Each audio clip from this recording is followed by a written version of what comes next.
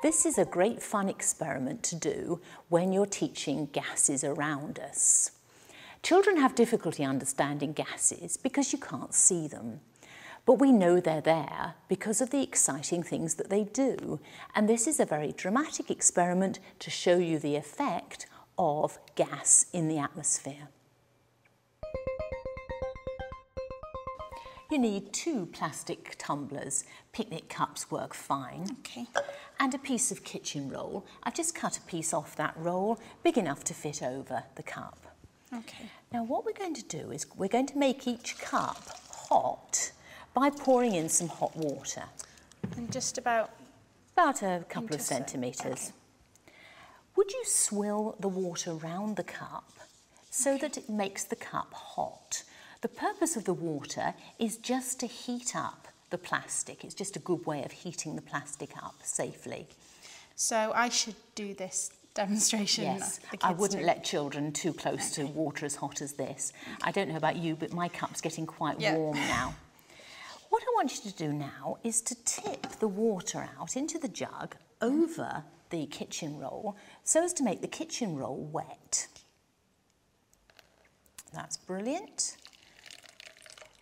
Tip all the water out and then put the kitchen roll on top of the cup and just smooth it down a bit so it's neat like that. And I'm going to do the same with my cup. I'm swilling the water around and tipping it out. I've made the cup very hot so the air inside is hot. So the cups need to be the same size. They do indeed, hmm. exactly the same size, unfortunately, which is why I've bought identical cups. Now, what's happened here is the air inside the two cups is hot. When something gets hot, it expands, and gases expand a lot. So air has come out of the cup. So when you jam the two cups together, there's less air inside than there would normally be. Mm-hmm.